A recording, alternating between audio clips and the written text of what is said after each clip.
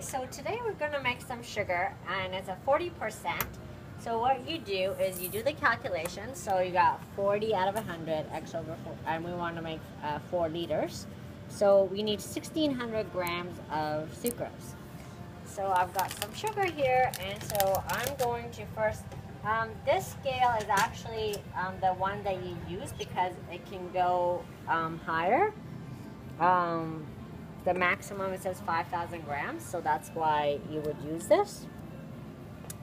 And then you would get a beaker like this. It's quite large because you need four, it comes up to 4,000. So, um, and this is the best one to use.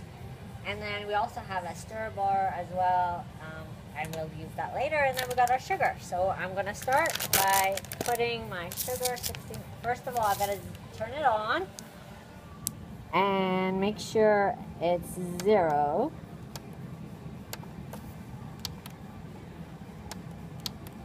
Sometimes it doesn't quite zero, so you gotta just play around with it. Uh, why is it? Zero!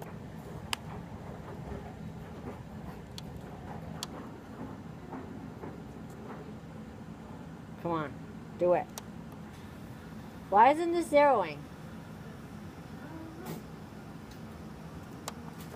Okay, pause. I'm